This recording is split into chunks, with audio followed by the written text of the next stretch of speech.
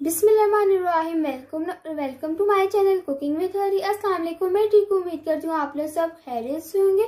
आज मैं बना रही हूँ तुर्किश चिकन कबाब। वो भी मेरे स्टाइल में, जो बहुत ही मज़े के बनते हैं। बहुत ही आसान रेसिपी है। रेसिपी स्टार्ट करने से पहले आप मेरा चैनल सब्सक्राइब करें। बेल आइकन को क्लिक करें। आप मेरी वीडियो को लाइक करें। तो चलते हैं अपनी रेसिपी की तरफ़। बिस्मिल्लाहिर्रहमानिर्रहीम तुर्किश चिकन कबाब बनाने के लिए जो जो चीज़ चाहिए वो ये हैं। वन के जी मैंने बॉनलेस चिकन ली, जिसकी मैंने इस साइज़ में कटिंग कर ली है।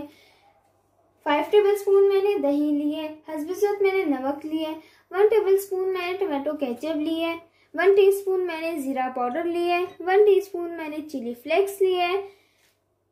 जैतून का तेल लिया मैंने वन टेबल स्पून लहसुन का पेस्ट लिया मैंने one tablespoon half teaspoon मैंने ब्लैक पेपर लिया है हाफ़ टी स्पून मैंने दालचीनी पाउडर लिया है वन टेबल स्पून मैंने लेमन जूस लिया है वन टेबल स्पून मैंने सिरका लिया अब मैं एक बाउल लूँगी। एक मैंने बाउल ले लिया इसमें मैं दही ऐड कर दूँगी।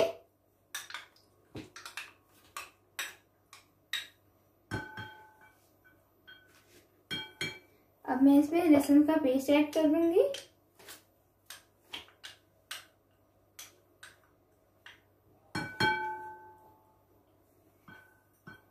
अब मैं इसमें टोमेटो केचप ऐड कर दूँगी।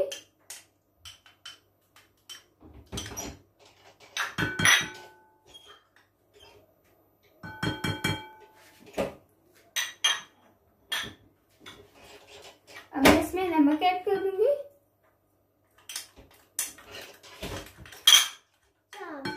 अब मैं इसमें जीरा पाउडर ऐड कर दूँगी। चिली फ्लेक्स ब्लैक पेपर दालचीनी पाउडर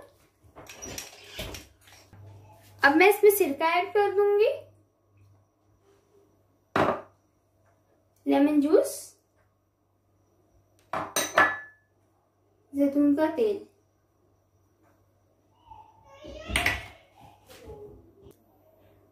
अब मैं इन सारी चीज़ों को मिक्स कर लूँगी।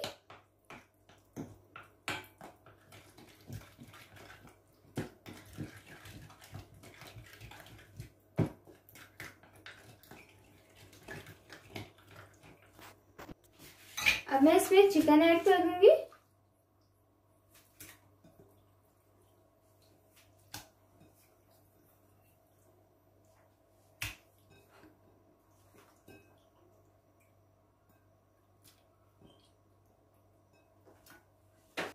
अब मैं मिक्स कर लूँगी हाथ की मदद से, ताकि जो मैंने मसाला बनाया है और चिकन अच्छे से आपस में मिक्स हो जाए।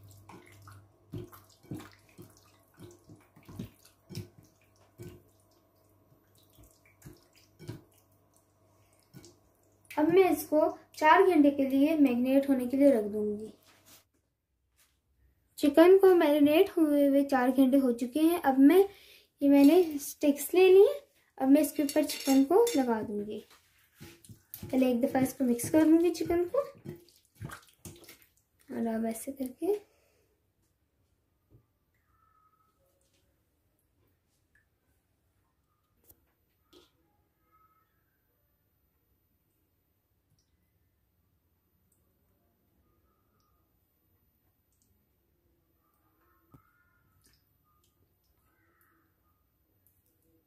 सारे स्टिक्स मैं इसी तरह रेडी कर लूँगी एक मैंने पैन ले ली है वन टेबल स्पून मैंने ऑयल डाल दिया अब मैंने ये जो तुर्किश चिकन कबाब रेडी किए थे, ये मैं इसमें डाल दूँगी। सारे स्टिक्स मैं इसी तरह इसमें डाल दूँगी। एक तरफ़ से जब भी पक जाएगी, तब मैं इसकी साइड चेंज करूँगी। लो टू मीडियम फ्लेम पे मैं इसको पकाऊँगी। ऊपर से मैं इसको कवर कर दूँगी ताकि अच्छे से चिकन जो है वो पक जाए। अब मैं तुर्की चिकन कबाब की साइड चेंज करूँगी।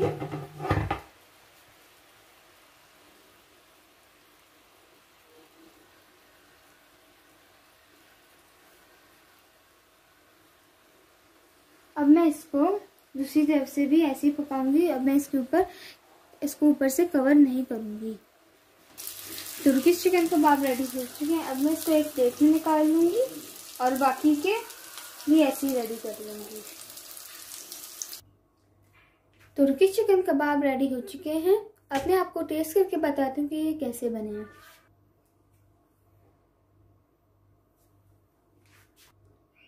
ये देखिए कितनी आसानी से निकल गई। अब मैं आप ये देखें कितनी चिकन भी है, वो भी अच्छे से पक गया है।